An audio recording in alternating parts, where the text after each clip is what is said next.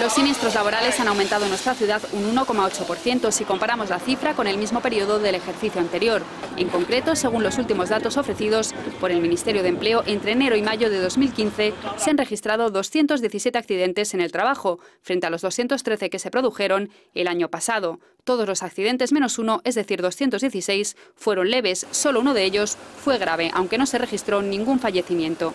La tendencia ha sido la misma en todo el país, donde se pasó de 177.536 accidentes en el 2014 a los 179.091 de este ejercicio, lo que supone un incremento del 0,87%.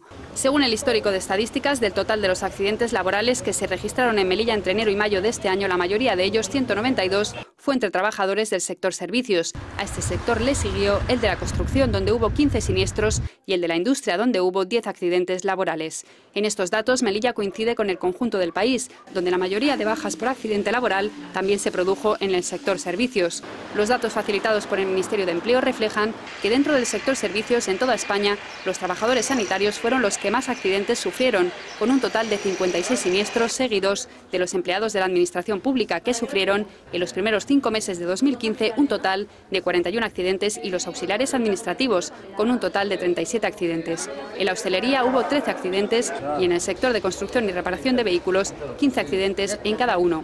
En medios de comunicación se produjo un solo accidente laboral y en el sector artista se registraron seis siniestros en todo el territorio nacional.